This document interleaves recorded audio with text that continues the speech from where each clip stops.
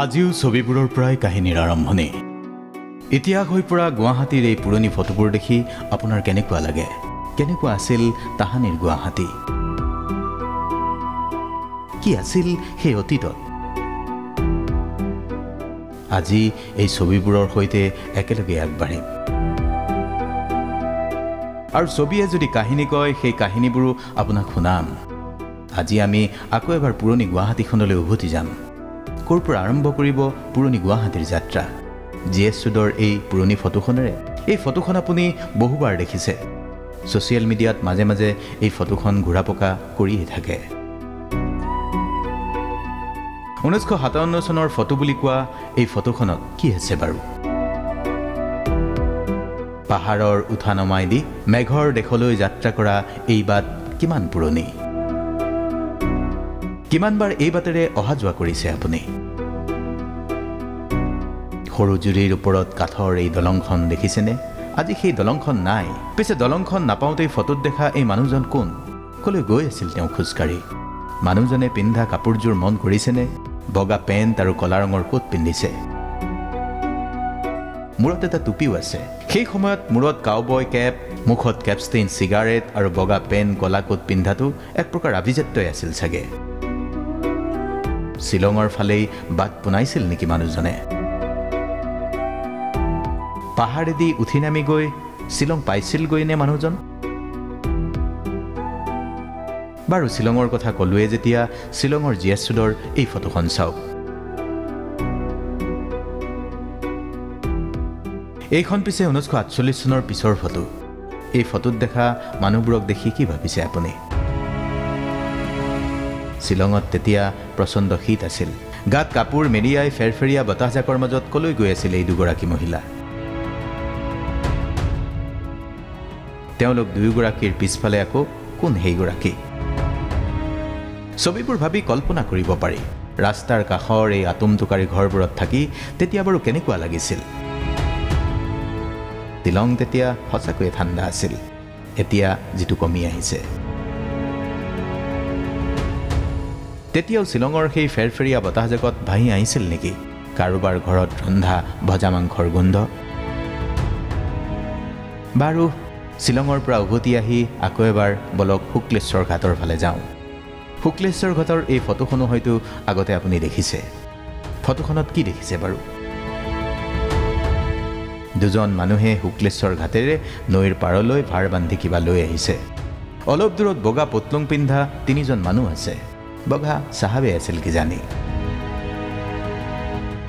এই ফটোখন হেনো ওঠৰশ ষাঠি চনৰ। পিছে কান্ধত ভাৰ বৈ আনি লগোৱা যেন লগা এই দুজন মানুহে কি আনিছিল তেতিয়া? সেয়া আছিল চাহপাতৰ টোপোলা। কাৰণ তেতিয়া ব্ৰহ্মপুত্ৰইদি অসমত উৎপাদিত চাহ কলিকতালৈ লৈ যোৱাৰ ব্যৱস্থা আছিল। এই ফটোখন তেতিয়াৰে। ফটোখন হেনে তুলিছিল অক্সকাৰ জিন বেপ্টিষ্টে এই ফটোবোৰেও আজিও কাহিনী কয়। কাহিনী বহু কাহিনী কাহিনীৰ আগ বিচাৰিয়ে এইবাৰ বলক পাণবজাৰৰ ফালে যাওঁ এই পাণবজাৰো আপোনাৰ চিনাকি। এইখন ফটো হয়তো পূৰ্বে দেখিছে আপুনি। আজিৰ যিখন পাণবজাৰ আপোনাৰ চকুৰ সন্মুখত ভাহি উঠে তেতিয়াৰ পাণবজাৰ আছিল ঠিক এনেকুৱা। আৰু এই মানুহবোৰ পথৰ দাঁতিত থিয় হৈ কি কথা পাতি আছিল তেওঁলোকে? গাত এৰিচাদৰ মেৰিয়াই শীতৰ দিনৰ উমাল ৰ'দজাকৰ আমেজ লৈছিল নেকি তেওঁলোকে? সেই সময়ৰ শীতৰ দিনৰ এটা পুৱা যেন তেওঁলোক ৰৈ আছিল কাৰোবাৰ বাবে। ধূলিয়ৰী বাটটোৰ কিছু আগলৈ আৰু কেইজনমান মানুহ। কোন অহাৰ কথা আছিল বাৰু এই বাটেদি? এই বাটটোৰে অলপ আগলৈ গৈ দেখিব ঘৰবোৰ। বাঁহৰ কাঠৰ ঘৰবোৰৰ মাজত ধূলিয়াৰী বাটটোৰে ঘূৰা চেকুৰাই কোন আহিছিল সেইদিনা? বগা চাহাব? তেতিয়াতো বগা চাহাব মানেই সম্ভ্ৰমেৰে চোৱাৰ সময় আছিল। বাৰু তেতিয়া কিমান ঠাণ্ডা পৰিছিল? এই ছবিবোৰ দেখিয়ে অনুমান কৰিব পাৰে। গুৱাহাটীত তেতিয়া প্ৰচণ্ড শীত আছিল। পিছে উকি মাৰি গুচি যোৱা সময়ৰ হিচাপ কোনেনো ৰাখে কোনেনো জানে কি আছিল তেতিয়া এই থিয় হৈ থকা মানুহবোৰৰ মনৰ কথা? আজি আপুনি মই এই ছবি চাই ৰোমাঞ্চিত হ'ব পাৰোঁ কিন্তু আতলগা কাহিনীৰ উত্তৰ ফটোত বিচাৰি পাব জানো? নাপায়। তথাপি কাহিনীৰ যুগসূত্ৰ বিচাৰি এবাৰ ৰেল ষ্টেচনৰ ফালে যাওঁ বলক। এইখন গুৱাহাটীৰ পুৰণি ৰেল ষ্টেচনৰ মুকলি প্লেটফৰ্ম। ষ্টেচনৰ প্লেটফৰ্ম যেন লগা মুকলি ঠাইত কিমান যে মানুহ কি কৰিছিল সেইদিনা এই মানুহবোৰে? কাষত এখন ৰেল ৰৈ আছে। এই মানুহবোৰৰ পিন্ধনত বেছিভাগৰে ধুতি কুৰ্তা কলা ৰঙৰ কুৰ্তা আৰু বগা ৰঙৰ ধুতি। আৰু ফটোখন ভালকৈ চাওক। তেতিয়াৰ মানুহবোৰৰো ব্যস্ততা আছিল কিন্তু আজিৰ দৰে ব্যস্ততাৰ মাজত চৌদিশক পাহৰি যোৱাৰ সেই ব্যস্ততা নাছিল। ষ্টেচনত ৰখাই থোৱা ৰেলখনত উঠা নমা কৰা মানুহবোৰৰ মাজত আপোনাৰো উপৰি পুৰুষ কোনোবা আছিল নেকি? গুৱাহাটী ৰেল ষ্টেচন ঊনৈছশ চনত স্থাপন হোৱাৰ পিছত ঊনৈছশ দহ চনমানৰ এইখন ফটোৱে গুৱাহাটী ৰেল ষ্টেচনৰ তেতিয়াৰ ব্যস্ততাৰ কথা কয়। গুৱাহাটী ৰেল ষ্টেচনৰে আৰু এখন ফটো আছে। ফটোখন ঊনৈছশ সাতচল্লিছ চনত তোলা। ফটোখনত তেতিয়াৰ সুদৰ্শন নায়ক যেন চেহেৰাৰ এজন মানুহ। কঁকালত হাত দি ফটোৰ বাবে পজ দিওঁতে চাগে এই মানুহজনেও ভবা নাছিল। এতিয়া আজি আপুনি মই তেওঁৰ এই ফটো চাই নষ্টালজিক হৈ পৰিম বুলি। ফটোখনৰ মানুহজন কোন নাজানিলেও ফটোখন তুলিছিল হেনো ৰঘুবীৰ ৰয়ে। তেতিয়াই ৰঘুবীৰ ৰয়ে তোলা কামাখ্যাৰ ফটো এখনো এতিয়াও ক'ৰবাত ক'ৰবাত ছ'চিয়েল মিডিয়াত মাজে মাজে ওলাই থাকে।